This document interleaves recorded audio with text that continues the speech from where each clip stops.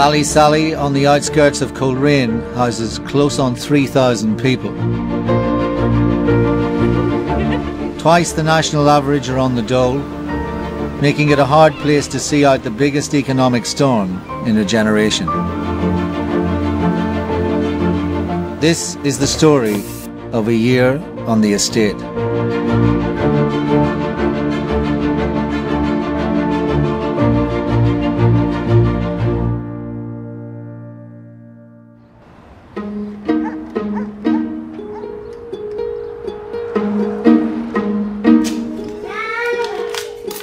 Jimmy's just received news about a job he'd applied for. Right, caretaker's Ballysally, we see I'm successful. Right, thank you for your recent application for both. I'm pleased to inform you that you've been shortlisted Oh for an interview. Oh my goodness! What the hell? I'm sure you hadn't even got got it. No. Or wouldn't even get an interview. There's boys in my work were talking about it and this is another board they apply for it. I mean, there's probably hundreds in for that. There you go. I didn't, didn't expect that there coming through the letterbox. Jimmy's desperate for a new job. He works nights at a local factory and Denise works during the day, so their time together is precious.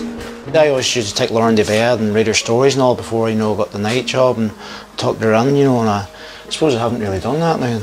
Even Dylan, I've, I think I've never really tucked Dylan really into bed, you know, since because he was only a, was Dylan was only a bit whenever I got that job, you know.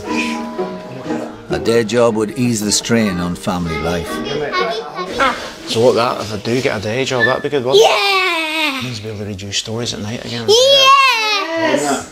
That's Yep, so good. I know. Oh, it's really good that you even got, I know. got an application. You know, got I an know. application. Yeah.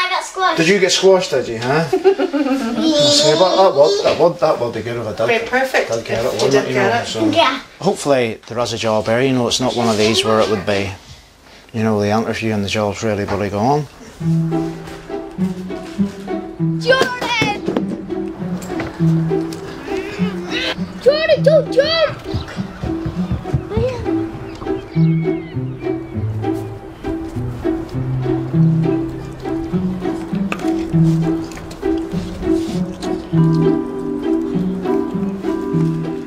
Looking after five kids is a full-time job for single mum Louise. Oh, I'm ready to bed. She's unearthed an old school report from when her 15-year-old daughter Kellyanne was a model student.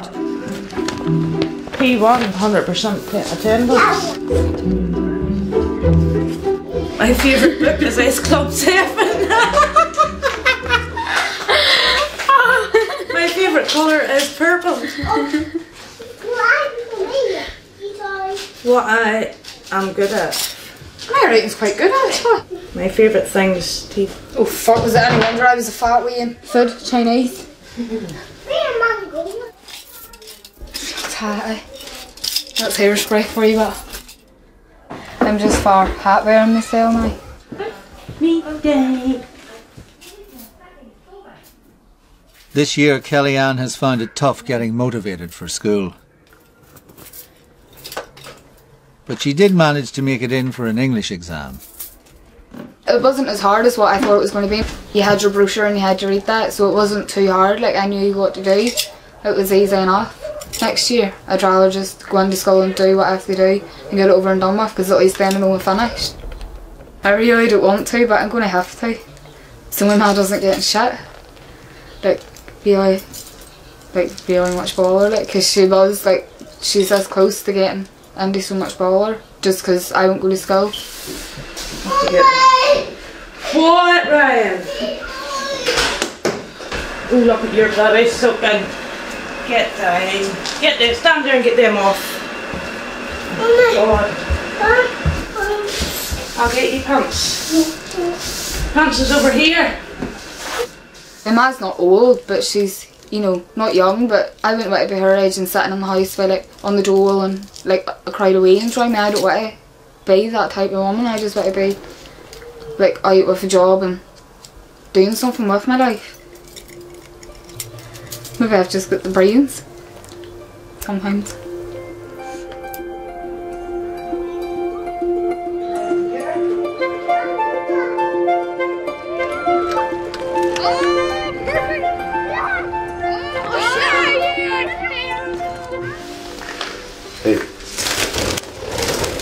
This is, wait, see this. My God, they're flying all over the place. Look, look. You see them? They're staying together. I call the two of them Bonnie and Clyde because they're two gangsters. You let them out and they run all over the place. But they're starting to move now. Martin's life is a daily battle with drink. Two weeks sober and he's fallen off the wagon once again. I'm not a depressed kind of person. I just like laughing. Because I was sad for a lot of years of my life, you know. And that's the way I look at it, you know. I'd rather just be happy go lucky. I take each day at time, you know. Oh, I moved this stuff over here because, for a change, because I was just sitting staring out the window up at one tree and I was getting bored, you know, so I changed my direction. Look, there they go, there they go. Ah, it's better center now? I've got four trees to look at now.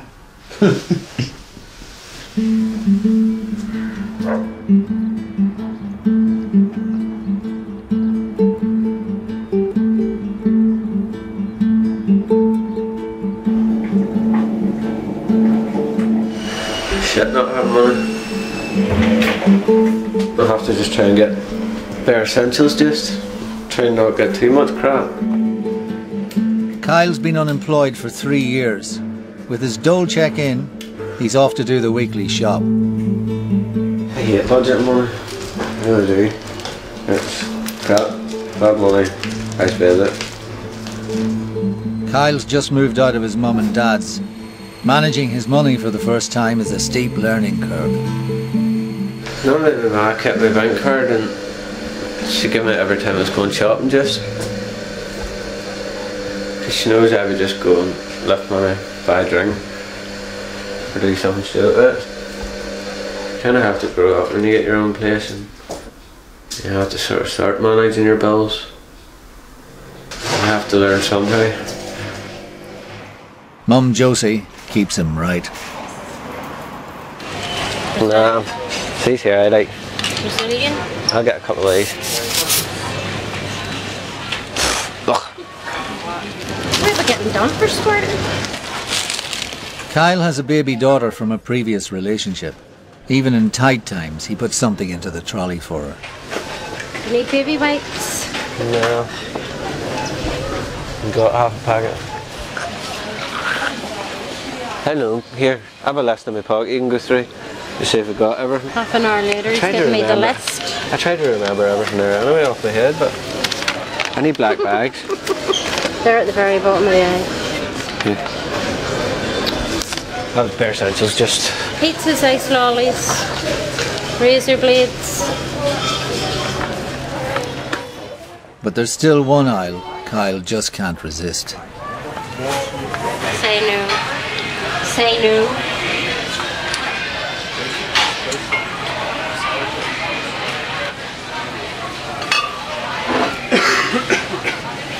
You may get that. You may get that. No, I'm not. You may. I'm not. What are you getting that for? Sixteen pound. Yeah, you take it and get it. I'll not get it. Right ID. What are you drinking that? You know what I mean? Uh, between me and Annie this weekend, maybe. Yeah. May as well. It's down in price again. I was gonna say, holy shit, it's down for thirteen pounds something, but it's not.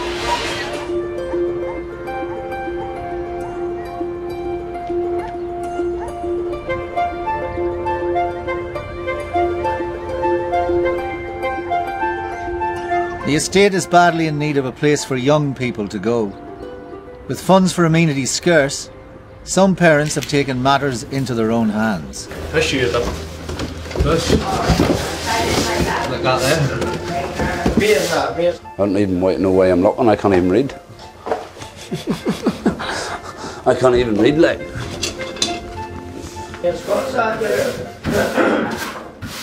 Noel is one of the people transforming this disused council house into a drop-in centre.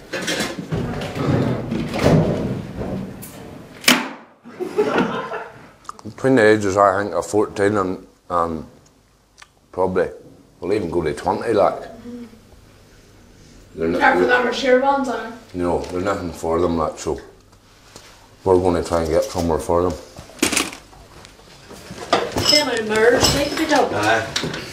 It's, it's not really to do, and if you don't have anything to do, either go out like Cat of Wonder or something like that there, just to get a chase. Because it's, there's nothing really to do in here. That's my desk. Ah. This is the main hub. Now, right, yeah, this is the main hub. I don't even know myself why I have a desk.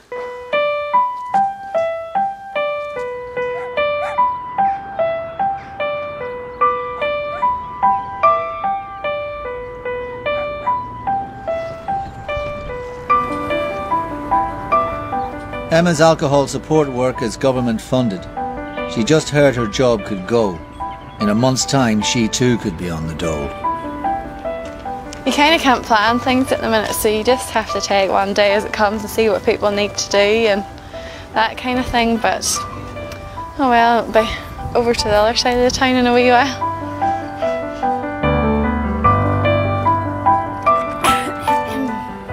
Emma now has to break the news to Martin. There might not be enough money to extend it, you see. So Them people would be stupid if they let you go. They don't understand. Like, all these alcoholics, they don't trust you. You look after them. You know what I mean? And if they let you go, them alcoholics are going to get let down and they're going to fall apart. They'll all end up in hospitals and then all Emma's work won't mean nothing. Without Emma, there'd be no alcohol support worker on the estate. you know, it's it's You not just me that's losing a job; house. they're losing support. See, all you need is a laptop. You can hard. say, "Oh, you give me hope. You know, I feel lonely. I feel lost. You know, because I know Emma. Emma, I can talk to her about anything. You know, the government are wrong. Emma's doing a job to help alcoholics. So when I put a, this recorder at full, Oh, thanks, Martin.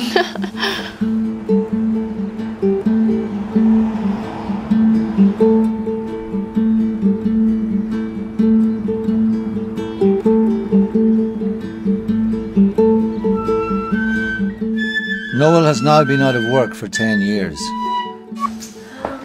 His wife Mandy is happy the drop-in centre has given him a new lease of life. Way past the skirting board hanging off, I have to get nailed. But at home, some jobs still remain half done. See, his idea was he was going to do an ensuite, and then we decided no, we'll just use this as a cupboard. So, um, Neil starts the jobs and then doesn't get them finished. I just let him be, as he only gets more frustrated. You know, so. Aren't you happy like flitting away? Oh, I just sound Bill. That's a turn out. I'm waiting for the snake to come up with a bucket.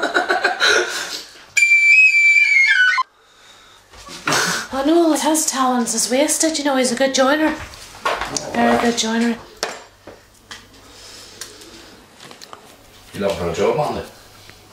I have one. You need to look for a job. I want time to work. You do? Oh, I'm buying jobs. No jobs on the newsletter. The mere desk.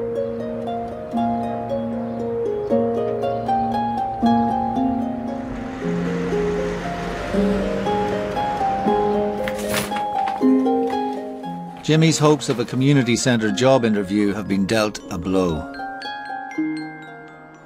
Hello, uh, I got a letter there on Friday to say that I had been shortlisted for, for the caretaker job in Ballysally.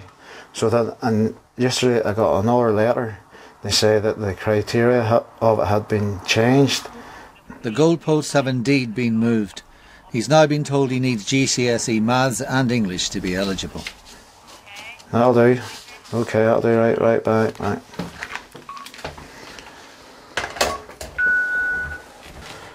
She says she was sorry. She says, don't let it put you off. She says, never know another another job like that might come up. It says they had, it says they had to go like that there because there was hundreds in for it. That's why they went for it. But for the GSEs, says I would have had I took something over the equivalent that there, but which I I haven't got. It's just just a wee bit got it. You know, like getting on the short list and then turn around and then change and telling you that you had to bring GSEs, you know, maths and English way, you know, like so. There's more to life and jobs, so there is. So back to the drawing board now. So just keep just keep looking, you know. For just keep can keep looking, see if any other jobs co- comes up, you know. So.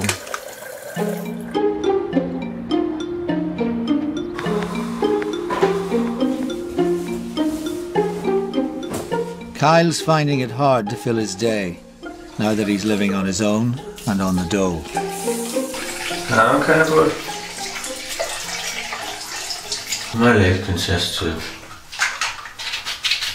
being in here during the week, Michelle. Not much to do. So that always leads to two or three days drinking. Ah, sometimes you worry about it, like sometimes think you have no life. But half the shit that happens through drink, so it's maybe about time I get off drink. I'm settle down someday. Maybe another kid or something. Help him settle me down.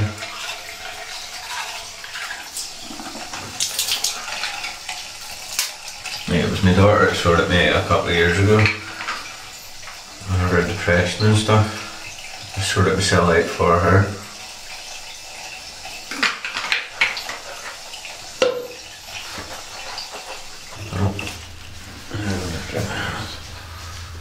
Oh. I used to self harm years ago and I had tattoos to cover them also.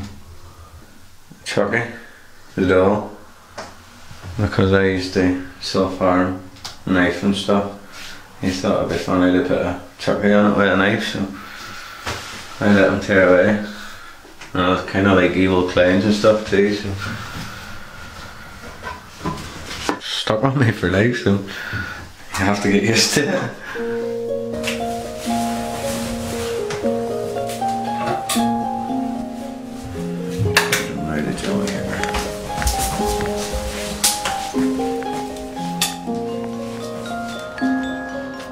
Since Kyle moved out, Rab's been oh. worrying his son won't cope on his own. That he might fall back into his old ways. two and a half years fighting with him, working with him because of drugs. The way that fella's went from working from Monday to Saturday, and then they end up putting, putting a rope around his neck. And the, the rope was burned actually an inch in his neck, where it was a nylon rope he had hung from the rafters in my garage. You know, it wasn't a very nice thing to see, your own son hanging by the neck. He's tried to commit suicide nine times after that cutting his arm, main artery of his arms, nine slashes in his arms, and now I say the big, big one on his leg. One minute he'd be okay, and the next minute he just went and lifted the knife out of the, the door and he just cut himself. And when you see that there, it's, it's hard to take in, you know, just, I wouldn't like to go through it again. Up the minute he seems to be coping alright, but it's always in the back of your mind, you're worrying about him, you don't know what, what he's going to do or what he's at at night. You don't know what tomorrow brings.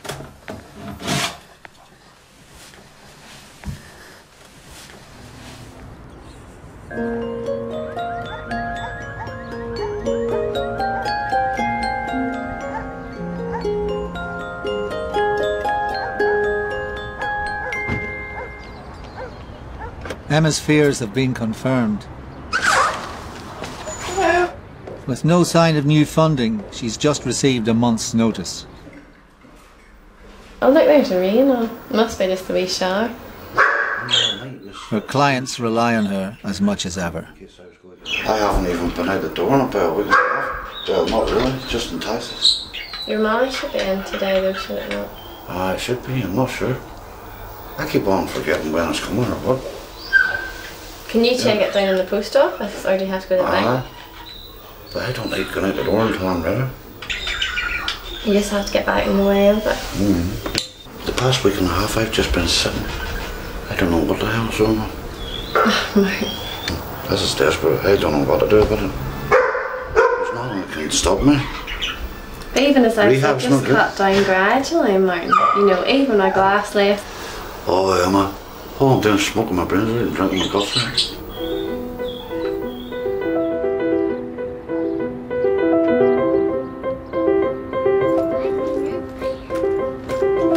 Say bye-bye. But you have to kill each other.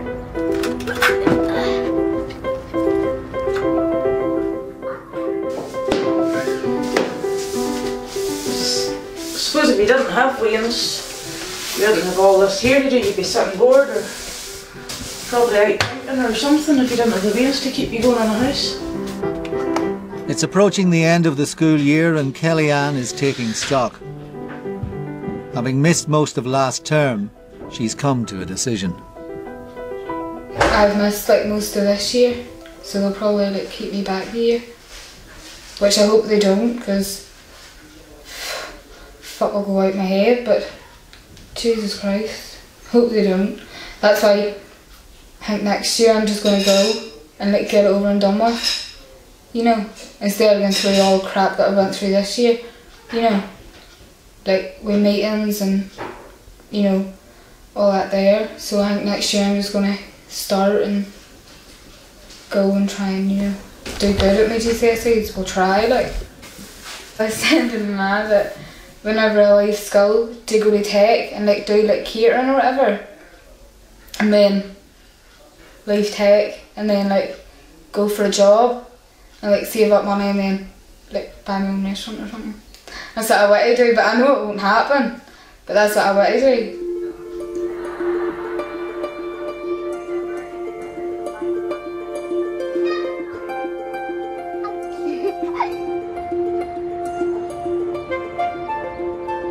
Just Emma. I'm just ringing up to check about this funding, just if you have any notion at all about whether it'll be continued.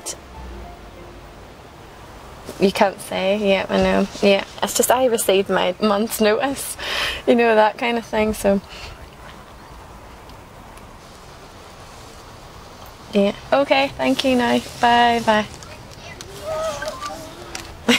I still don't know really, so just have to stay positive, I think. No use is good news.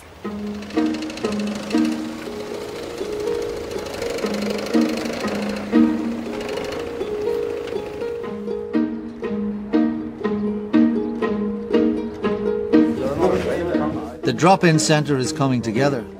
Noel's joinery skills are a godsend. I hate this. Everything's wrong. No, that's what I do for a living now. Don't do it now, really. Just do it for an odd one I would do bits and pieces for, you know. I haven't the qualifications at half of the building sites you need, you know. All the old uh, health and safety crap, like.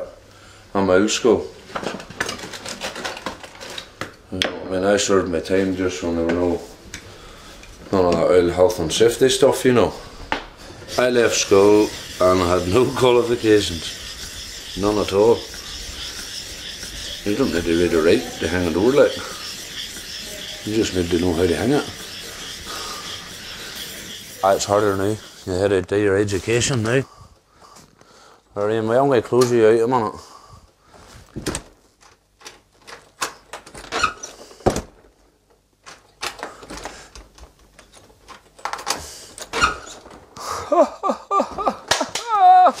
One down.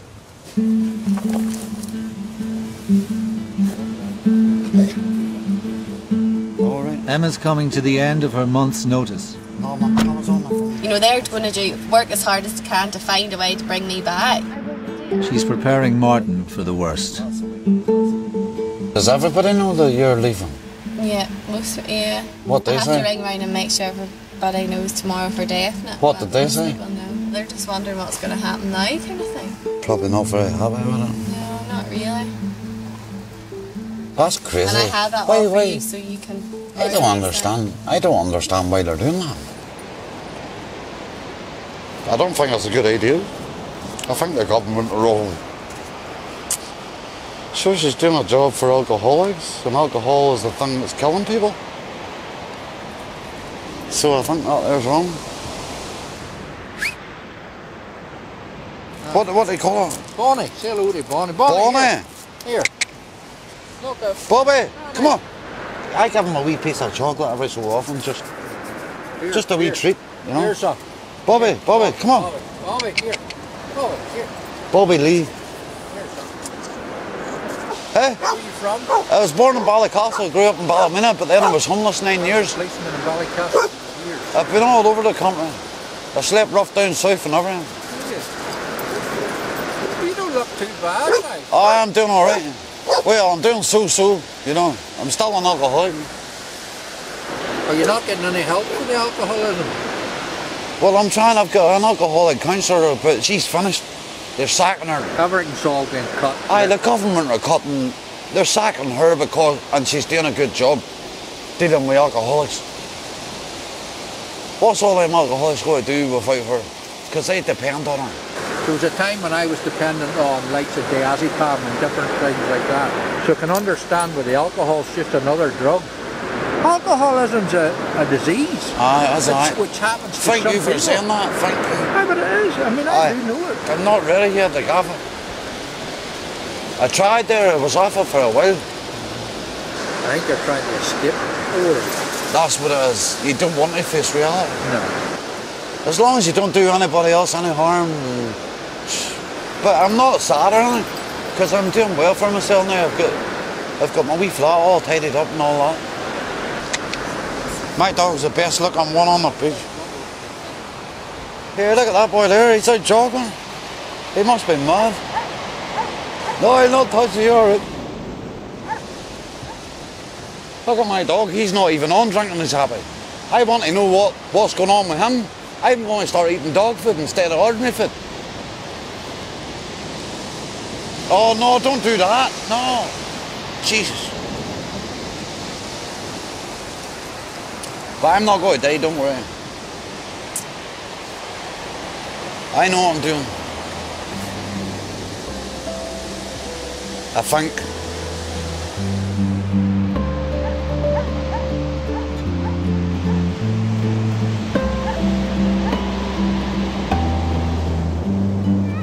Next time on the estate.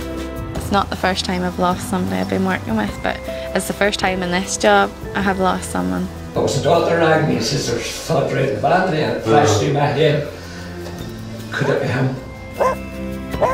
Say if I took somebody to their dinner and they said it was wrong, I'd just be like, fucking idiot, you bastard. And what's that big word there say? Well, the members of the above band couldn't invite you to their- accordingly. These little days are our memories when they're grown up. That was awesome! And the estate continues next Monday at 10.35 here on BBC One Northern Ireland.